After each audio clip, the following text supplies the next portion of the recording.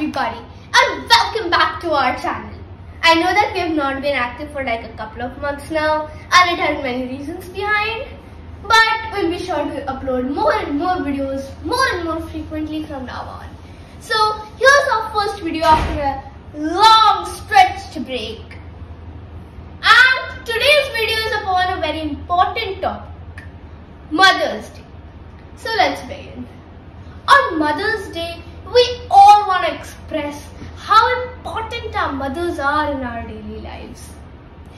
The word mother is derived from the Sanskrit word matri, which means a woman who gives birth. A mother is also the most influential character in everyone's life. A mother is an icon of sacrifice and love. She is our first well-wisher, our first teacher, and also our first friend. She has to stay awake many nights just to take care of her child. A mother is always standing by her child in every situation, whether it is a good or bad one. A mother dedicates her whole life to her children without expecting anything in return. The only thing she wants is to be loved by her children.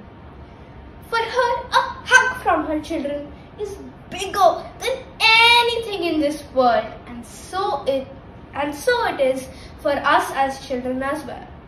I want to seek the blessings of God not only for my mother but for all the mothers who continue to love us and nurture us. May God keep our mothers hale and hearty throughout and in the best of spirits.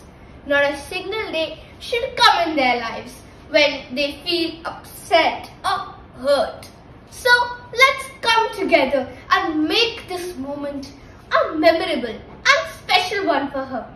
Thank you to all the mothers for loving us, taking care of us. So if you like today's video, don't forget to hit a like, click the share and subscribe. Also don't forget to hit the bell icon and then click all to receive Okay, tata and bye bye.